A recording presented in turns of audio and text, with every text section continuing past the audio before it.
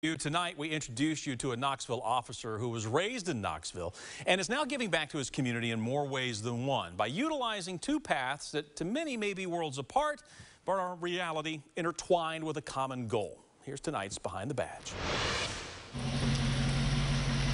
At first glance, a police car backing into an empty church parking lot may set off a curious look or two, but not if it's KPD officer Jonathan Clabo behind the wheel. I've been a pastor here for seven, going on eight years. Clabo is the pastor at East Avenue House of Prayer, located in the South Knoxville Vestal community, a place he has called home for as long as he can remember. I've been in this community for over 30 years, rolling around in here, ever since I was in diapers. I love this community.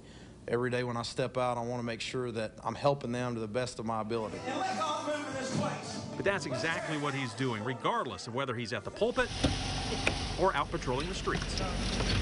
This February will be four years that I've been a police officer. I felt a calling, right? I felt like I wanted to, uh, to help people out.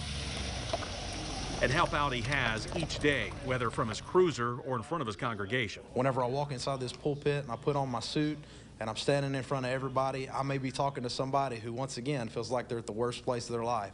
And my job as the pastor is to build them up so that whenever they walk out those doors, that they feel better than they did when they came back in. Becoming a police officer has assisted me in my ability in being able to talk to people and help under, you know, help them understand what's going on uh, and give advice and guidance, not only uh, through the spiritual aspect, but also um, through the law. And that's why, whether in a suit or wearing a badge, nothing changes. I try and be the same person in the pulpit, in the grocery store, in the police car as I am everywhere. Whenever I put this badge on, my chest doesn't blow out. I don't think that I'm better than anybody else that's around me.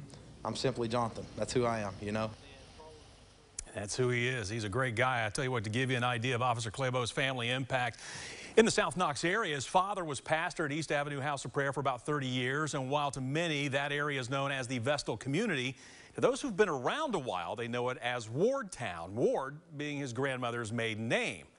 We've got some deep roots there, and Officer and Pastor Clabo deeply committed to making a difference.